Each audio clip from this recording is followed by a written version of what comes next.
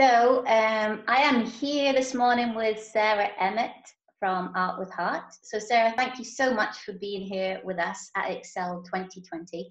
And I wonder if you could just start by introducing yourself and telling us your current role in the performing arts. Uh, hi, uh, I am Sarah. I am the co-creative director of Art with Heart. Um, so there is myself and Rachel that run the company jointly, um, and we make performance, participation, uh, and education projects, both locally in terms of Greater Manchester and nationally too. So we work with lots of different types of, of people, both enabling others to make creative and cultural ventures, but also we make uh, performances and things that we will tour nationally as well. Great. And Sarah, maybe you could start by telling us a little bit of the um, maybe the training or the process that led you up until this point. Like what what kind of um, courses or experience did you have leading up to creating this company? Um, I th- I like to say I made it by fluke, really, uh, because I never intended I never intended to have a company. I never intended to make work. I never intended to write or really devise. I thought I am a performer. That's what I'm going to do. So uh, I went to college, studied theatre studies, then fortunately got into university which I, ne- I never thought would happen either like people didn't talk about university where i'm from so it was kind of a really big deal that i went to uni um, and did performing arts and media studies at, at salford. And um, and through that course i kind of felt it, was really great to start to make work. But i always thought oh this is great. Like i'll use this opportunity at university to make work because i'll probably never get that opportunity again. Ha ha ha. so um, I just thought, oh, great, like take it while I can. This is really, really, you know, enjoyable and fun and challenging, and I really got a thrill out of it. And then I thought I was going to leave university, get an agent, be an actor. That's it. Um, but I knew that I wanted to do other stuff as well. Like I had lots of interest in uh, working with young people and education and um, facilitation, and so I'd always kind of done that as well. But in my in my mind, when I was like at university, I always saw those as like two different things. So I would always, I always knew, you know, if you're a performer, you always need a kind of other job. So I thought, okay, well, facilitating and youth work and working with young people and education is one thing, and then my performing arts thing is another. And it wasn't until I, I mean, I was in my twenties where I just started getting jobs where the two started to mix together. And i was like oh this is interesting. And then i started to to write not even necessarily to put it on but just because i had an idea i thought oh i, I really fancy getting out. Like i really enjoyed being creative in that way at university so i'm just going to try and do it. And then the more i did and and then I just sort of fell into it and accidentally people were like, oh, that's really good. Do it for this festival. Oh, that's really good. Do it for this festival. And I was like, oh, this is, this is quite good. And then my kind of two worlds were mixing and mixing more and more. And then the more I worked for other companies, the more I thought, I reckon I can probably do it better than that. So, so I set up a company. So it was kind of, yeah, I, I literally just fell into everything. There was, there was no plan yeah. So I, I don't i think some i always knew i wanted to work in the arts like from a very very young age. I always knew i wanted to work in theatre and i wanted to to work creatively. But i think it was never instilled in me from a young age that you could do it for yourself. I think it was always this sense of well if you're and and i think it is a class thing like if if you're working class you get this sense of like work will be given to you. You don't you, you don't get to be the boss you know? So it was a really bizarre strange feeling. And i think essentially my whole career i've sort of at various points had that kind of imposter syndrome of like oh my god how have i how have i got a company? How am i doing this national tour? How am i like making these things happen because i never expected that to be the case. So i can't remember what your question was now. Oh what have you what have you done? Loads of stuff. Uh, it was just about how you got to be where you are. You did answer the question beautifully. So okay. And just for people who maybe don't know much about Art with Heart, I wonder if you could talk us through one of your projects to give us a sense of the sort of work we're talking about here. So maybe if you could just give us an idea for people who might not know. Um, so uh, I suppose there's two different types of projects. So we've got the the projects that kind of we produce that we will take out on the road. So, like Declaration is an example of that, which was the last national tour that we did, which um, was a piece of contemporary theatre, which uh, we took out on the road. So we toured it nationally over like two years. Um, won shiny awards. It was really beautiful.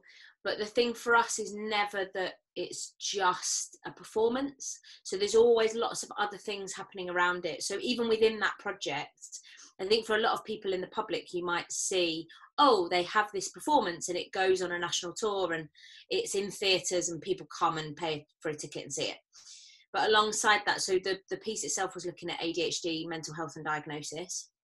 So alongside that, we had a, curated wellbeing room with uh, a mental health practitioner, um, which the audience could use before, during, and after. So there were like um, well-being activities uh, that people could think about their own mental health and well-being, but was also a space where there was a trained practitioner for them to have uh, that one-on-one interaction with someone who was safe and knew what they were talking about and wasn't just someone who was coming from personal experience it was someone who was a professional in that field and then we also ran um, training for teachers and youth workers and arts facilitators um, on ADHD and mental health and working with young people. Uh, so there was kind of a performance, a wellbeing room, a training aspect, and then we also did workshops with people. So we did um, on a separate day, we did workshops with children with ADHD, looking at how they uh, are able to accept that part of themselves more and kind of thrive within it. And then also we ran that with adults as well.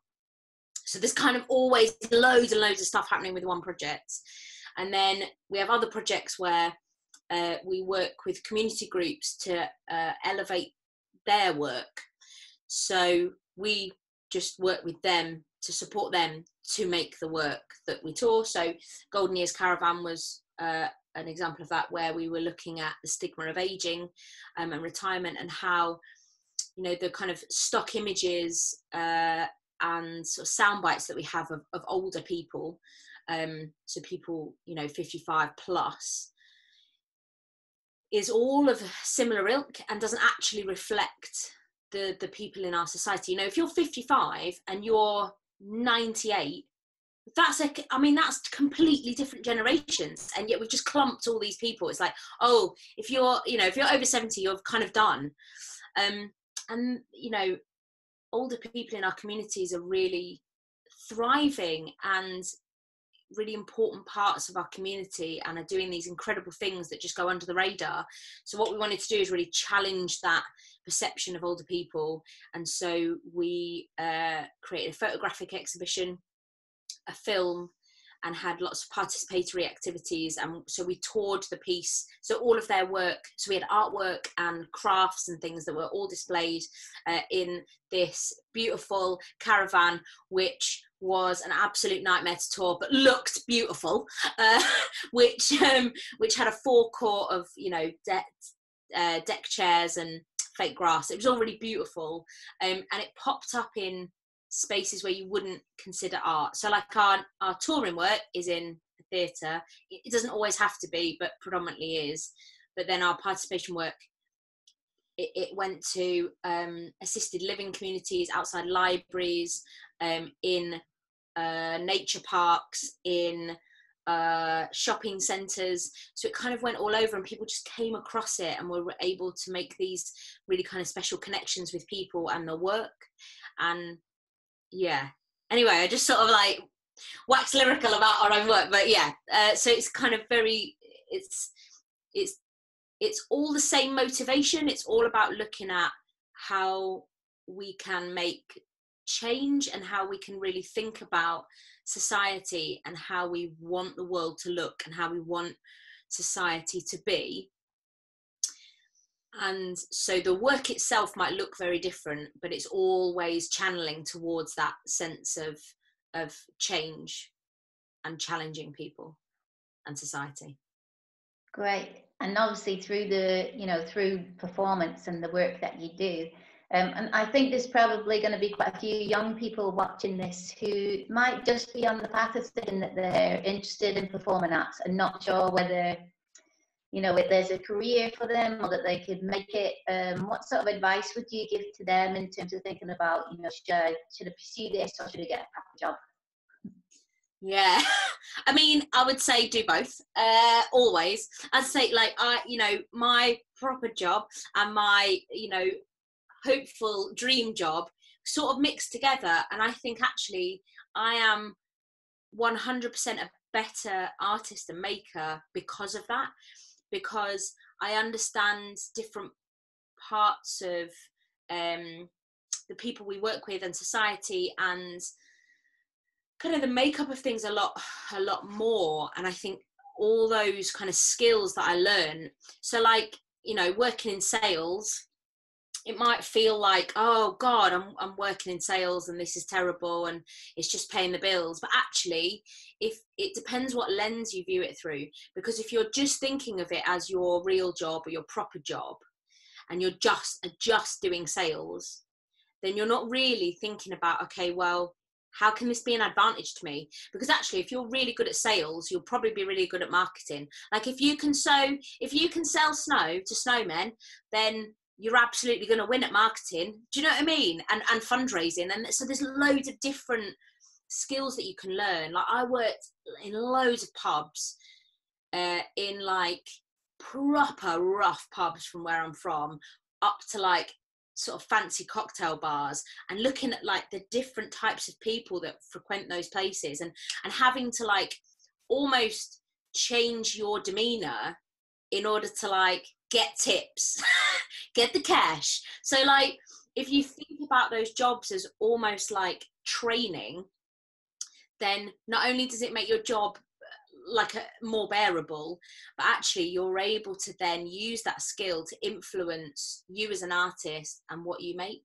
And I think whether you want to make whether you want to make a piece, whether it's devise or write it or or produce it or perform in it, like those all those skills are really valuable and all those skills just make you a more rounded person so whether you want to go off and work for the royal shakespeare company just do you know bashing out some shakespeare it's not all about just having been to like top drama schools and doing all these things like actually what we need in performance right now and, and in that in the kind of creative ecology is a much broader representation of people and what you bring to the piece. So, like, for example, when we're casting something, we're never just looking for the best actor in the room because that's that's like almost I mean, it's like two thirds of the job, isn't it? It's like half the job. The other half is like, are you good to work with? Are you a team player? Are you going to put the effort in? or are you just going to rock up five minutes late do the bare minimum and get off or are you going to be there for example when your costume breaks and everyone's really stressed are you going to be like do you know what don't worry about it i'll just sew the button on like it's you know what i mean like those small things actually being a team player in that room and being part of that collective is so much more important sometimes than being the best person like you know so you don't you don't have to have I think you bring you is what I'm saying. You bring you. So if you have just sat in your room thinking, "Oh, I'm not good enough," and I I couldn't have gone to I don't know RADA or whatever, and I you know all I've done is just work in uh, this shop or this pub, then of course you're not going to be the best person in the room because you're going to be the person that doesn't think you're good enough. But actually if you're bringing yourself and you're bringing enthusiasm and you're bringing like a passion for the company and the work and all the rest of it then actually that makes up quite a lot of why you would get that job it's not just about do you have the exact perfect skill that sort of went on a bit of a tangent but yeah yeah, that's great, Sarah. And because one of my next questions would be, what would be um, your tips in terms of professional skills? Because often we're talking about performance skills to students when they're learning, but you know we know that professional skills are just as important. So, what would be your top tips for um, developing professional skills? I'd say, like, be kind, be kind, be generous, be like really value people's time. And i think if you've got those things you're on sort of onto a winner. Like sometimes like i still experience this now you'll you'll speak to someone you know who is a gatekeeper or higher up the chain or whatever it is you'll speak to someone and they're really short with you. Like you'll phone them and you'll be like, right, I've got to ask them this. Okay, okay, here we go, here we go. And you're all like geared up and you're, you know, really thinking about your projects. And you're like, oh yeah, this is going to be great. Okay, okay, let's do it. And they're like, no, uh, and just really short with you. And you're like, oh, oh God. And I always have to tell myself, but that person has a life too. Like that person has probably got you know their their child might be sick and they've just had a phone call from the school and they've got to leave the office to go and pick them up. Or they've just had a really horrendous phone call about something else that's happening in the building. Or they're just having a really bad day. Or they you know they just don't they, they can't right now. I think if you take things really personally and i think when you work in the arts there are you know our heart our soul everything is into it and so we it, it's almost like when you work in the arts, you have to really work hard to empathize with other people because getting those rejections and getting those, oh, well, you were down to the last two, or getting those, no, we're not interested right now, or no, ring back another time, or, you know, getting those kind of buffers is, is, is quite difficult and can really dent you. And I think in some people that can make them a bit resentful and a bit kind of angry. But i think if you are always remembering to be kind and you're always remembering to be kind of generous and and thinking about the you know we're all just people. We're just people doing a job and we're not we're not setting out to be really terrible to you. Um but also reply to people so this is another thing. This is my other tip that just sort of went around the houses as it usually does with me. But um if people say to do a thing do a thing. So like i i have been on both sides of this where i've missed out on something but also offered my time and they haven't taken me up on it. So like if someone says if a caster or a producer or a director or whoever it is says i really i really love your work. But you haven't got it this time. You haven't got the job or you haven't got this opportunity or whatever it is but i really like you and i really want to work with you. So give me give me a ring in six months time or send me an email in a few months and we'll maybe you know we'll, we'll figure something out. Or make sure you audition for the next thing. Like write it down and do it because I've I've not done that because I've thought, oh, they're just being nice to me. Like, oh, they just feel sorry for me because I'm actually not not good enough. And then I've missed out on that opportunity. And then it's you know a year, two years, and you're like, it's too late now. I can't can't follow that up. But I've also said to loads of people, email me, email me your script. I'll, I'll read it. I'll give you some feedback, or send me a funding application, and I'll I'll send you some feedback on it. Or you know, a whole host of things that I've offered my time for free or you know sent people opportunities and things. And people people just do that thing where they're like oh no I won't or forget. Like set a calendar reminder and do it and send it.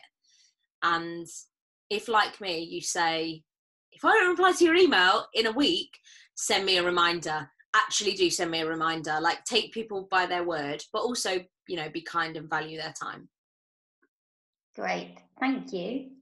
Sorry, um, it's always long-winded answers, isn't it? Um, so, a question for you uh, from our employability officer. She wanted to know what's the best mistake you've ever made? I wrote, oh, wait, wait.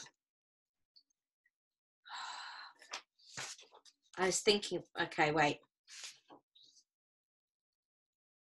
Okay, so I, this is what I wrote. I, li- I I didn't follow things up with people when they said to do it, and then it was too late, and I forever regretted it.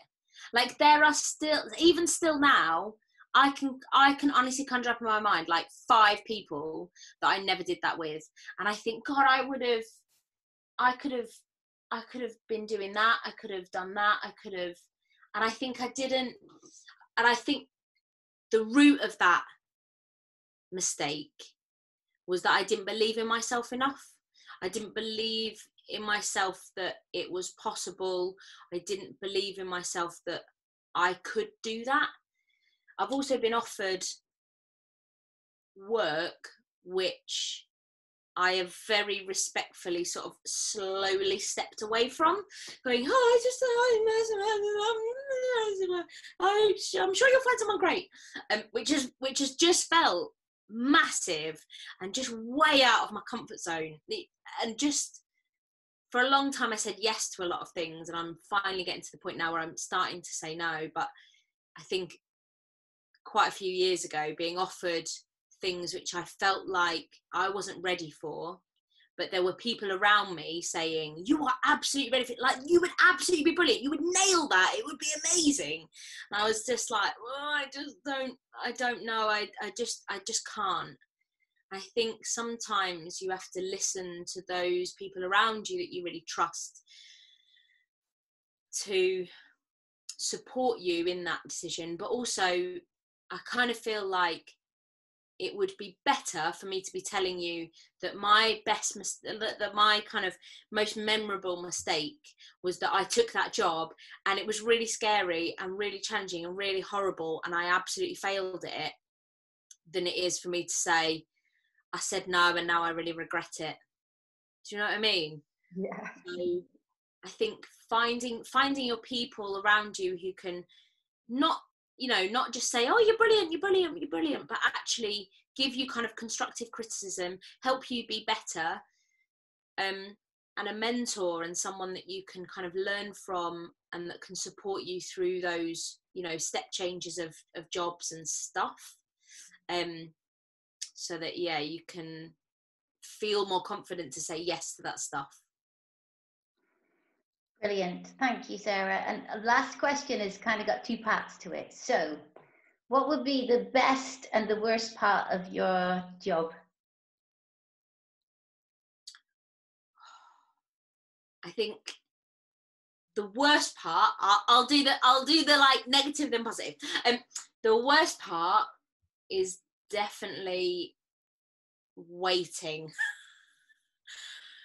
There's a lot of waiting, um, whether it's waiting for someone to reply to your email or it's waiting for um, funding to arrive, or it's waiting in terms of you sending something in and waiting for a deadline and getting a response. Like there's a there's a lot of waiting for other people and that can be really frustrating because you just know that your thing is brilliant and you just you just want to do it um so the waiting is the worst.